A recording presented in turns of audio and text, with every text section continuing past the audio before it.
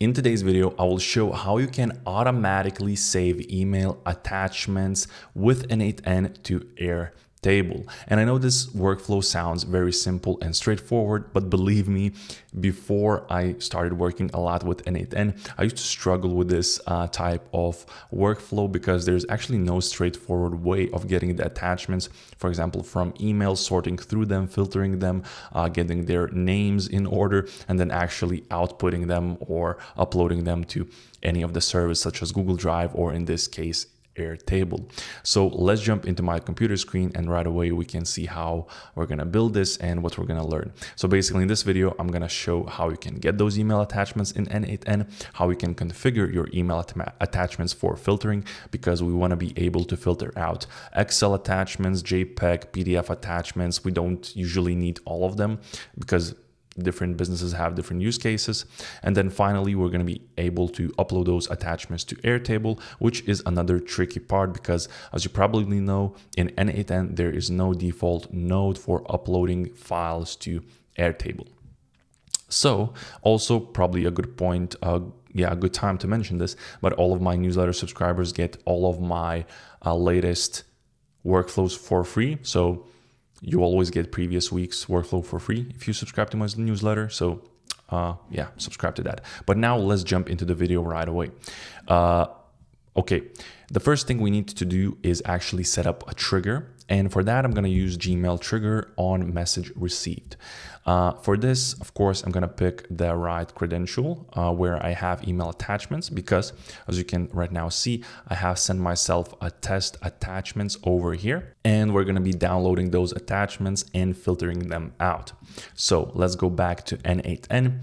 Basically, I'm not going to change anything here, but what I'm going to do is I'm going to unselect simplify I'm going to go into add option and select download attachments. So this is a crucial step because if you don't enable this, basically you're not going to be able to get them.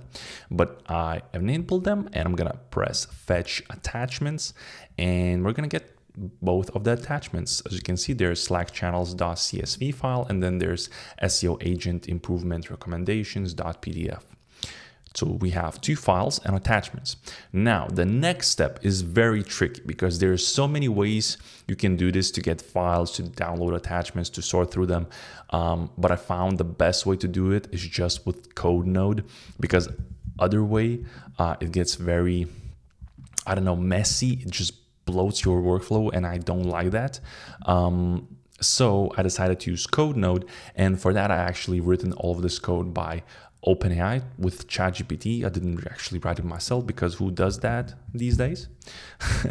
so uh, I'm gonna paste this in here and basically what this code actually does, it splits those attachments into separate files and then allows us um, to actually manage the data or the files very easily. So what I'm going to do as well, I'm going to rename this as uh, split out attachments like so, and I'm going to hit test step. After we do that, you probably notice that we have two separate items because as you can see over here, we got it as one single item, but now we have as two separate items and we have one data item and we have another data item. So one is PDF, one is CSV. Great we already split out the attachments. We're moving very, very fast with this workflow. Now, the next step we need to do is add a filter node. Why? Because, for example, in my business case, I want to filter out only PDFs. So to do that, what I'm going to do, let me think. So first of all, I'm going to add string contains condition in the filter. And here, I'm going to choose expression. In the expression, we have curly brackets. Then I'm going to select from earlier nodes, split out attachments. Over here, then we go into item dot binary dot data dot mime type. And as you can see, this brings out the MIME type. In this case, it shows the first file's MIME type, which is text CSV. So in here, since I want only PDF attachments, I'm gonna type in PDF. That's it. And hit test step. And as you can see, now we have one kept item, which is a PDF file. And then we have a discarded item, which is a CSV. Um, And that's pretty much it with the filter. Very straightforward and very easy. Now, the next thing that I'm gonna do is I'm gonna add a loop. Why loop? Because if, for example, we're receiving emails with hundreds of attachments and I'm uploading those into Airtable, you know, I don't want to upload 100 attachments at a time because usually APIs have limits. For example, I don't exactly know, but around, let's say, 60 requests you can make per minute to Airtable. That's I just picked that out of my head. I don't know the actual number, but let's say that's the actual number. And if you have 100 attachments, you're going to reach the limit very soon. So that's why I add loop in this case. But for the next node, I'm going to select extract uh, from file. And in this case, where was it? Where was it? Extract from PDF. Oh no, nah, that's that's completely wrong. I need to delete this and select file. Where was it? Extract from file. Yeah, extract from file and then move file to base 64 string. So this is very important. If you skip this step where you have to move file to base 64 string, you're not going to be able to upload this file to Airtable. In some other situations, for example, with Google Drive, uh, I think you can do it without this, but with Airtable, you have to have this node in place. So let's just hit test step and let's see what we got. So we got the data as base 64 string uh, from this node, which is great, exactly what we need. And actually we are one node away from having this oh no, actually I lied again, two nodes away from having this workflow finished. So the next step that we need to do is select create record. And for that, I'm gonna select Airtable and I'm gonna pick create record. I just need to know, need to remember which database I have to pick. We have to pick a contact database like so, and we have to pick email attachments. So I actually need to log in into my Airtable. So give me a second. Now I've logged in into my Airtable just so you see and keep an eye on all what's going on. So I'm going to delete the previous records not to confuse you, but basically I have fields email name, file name, sender name, PDF attachment. What I'm gonna do now, I'm gonna go back to N8N, and since we're creating the record in this particular table, what I'm gonna do is that I'm gonna add the variables. So the first variable that we're gonna add is gonna be all of them are going to be expressions, so that's good to know. We're going to go into the Gmail trigger, then we're going to type in item.json dot uh, headers dot subject. Bam, we have the email name, so fetch test attachments. Then the file name, again, let's pick expression. Over here, I'm gonna type it in like so. Uh, we are gonna select keep attachments or just filter, yeah, filter. Then I'm gonna select dot item dot binary dot um, data dot file name. So here we are, we have the file name here, then the sender email. So again, we let's go just Gmail trigger like so, copy paste it, select expression. Then I think it's gonna be in the headers dot from and yeah, yeah, here we have it. Um, oh no, I've typed it in in a wrong field. So basically just copy paste into sender email. Bam, let's delete this. And we have email name, file name, sender uh, email. That's where we're gonna upload all of the data. So the next thing we can do is hit test step. And we already can see that we created a record in Airtable, but unfortunately we still haven't uploaded the attachment. For that, what we need to do is go back to workflow and this is where the tricky part with the Airtable comes in because Airtable doesn't support this type of stuff by default, which is annoying, but we're gonna make an HTTP request.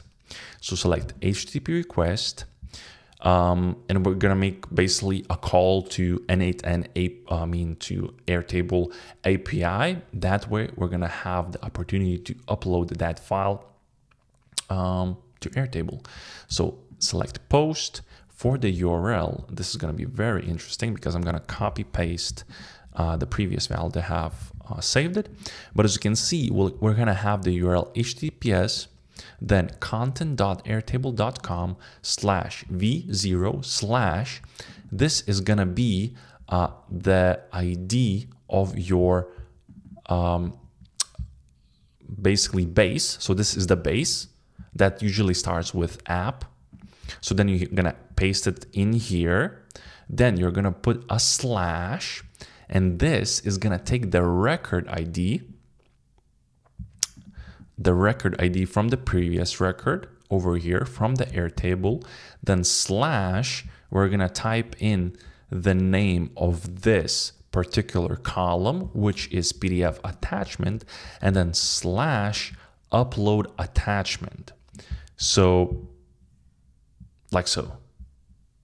Basically, upload attachment is on always going to be like so. PDF attachment is going to be based on your column, how you named it in Airtable. This is the record ID, which I'm adding dynamically, and this is the table ID, which you can find in here, as I already mentioned. So we have that configured. Next thing we need to select is the authentication. So for the predefined credential type, I'm going to select this because I already have my Airtable API, which is Airtable Personal Access Token API, which is most likely what you have as well. So you don't have to worry about that much. Then in the headers, I'm going to enable this. I'm going to copy paste. So the content type, which is usually what you have to send. And then for the value application slash JSON. Now, moving on, the important part, we have to configure the body. So let's send the body over here. I'm select using JSON and I'm going to copy paste again the previous value, but I'm going to explain everything I'm using. So I'm going to select an expression. I'm going to make this big. And we have to send three parameters in JSON. We have to send content type, we have to send the file and the file name. So first of all, as you can see uh, over here, I previously had different, name, uh, different names for full uh, nodes, but here I'm gonna select filter. And as you can see, there's gonna be basically node filter dot item dot binary dot data dot mime type. And then in the file name, again, I'm gonna type in filter and I'm gonna have filter.item.binary.data.file name. And here it gets filled out like so. So let me just scroll, scroll, scroll. That's the base data. And this is the file name. Cool, we have everything. So if I'm gonna hit test step, we're gonna see it running. And of course, I can delete this and, and we can go back you can see that actually a new record was created and we've added that attachment. So I open it up, I can see SEO agent improvement, recommendations, and so on. Uh, we can see from which email it was received, uh, so on and so forth. But let's delete this, let's delete this. And now, for example, we have the finished workflow, which has been pain in my ass for quite some time until I learned this. But now, for example, if I decide to uh, remove the filter. Let's say the condition is that string exists and that's it. So it's gonna pass all of the files. And for example, I come here, it's all of the here deleted. So what I'm gonna do, I'm gonna hit test uh, workflow and you will notice that, for example, in this case, since we removed the filter, it extracts both of the attachments and uploads them both into Airtable. So for example, you come here, boom, one attachment, which is a CSV, and then a, another attachment which is you know a pdf and this can become very useful if you're building workflows for your clients or for your business where you basically have to manage a lot of attachments from your gmail and you just basically need to organize it or you're i don't know doing accounting for someone and you need to save all of those invoices or whatever in the airtable in an organized fashion. This works like a charm. So if you enjoyed watching this video don't forget to hit the like don't forget to subscribe and as well remember that all of the email newsletter subscribers get uh, last week's workflow for free. Or if you want, there's a link where you can download it. So that being said, again, I already said it, but yeah, see you in the next one.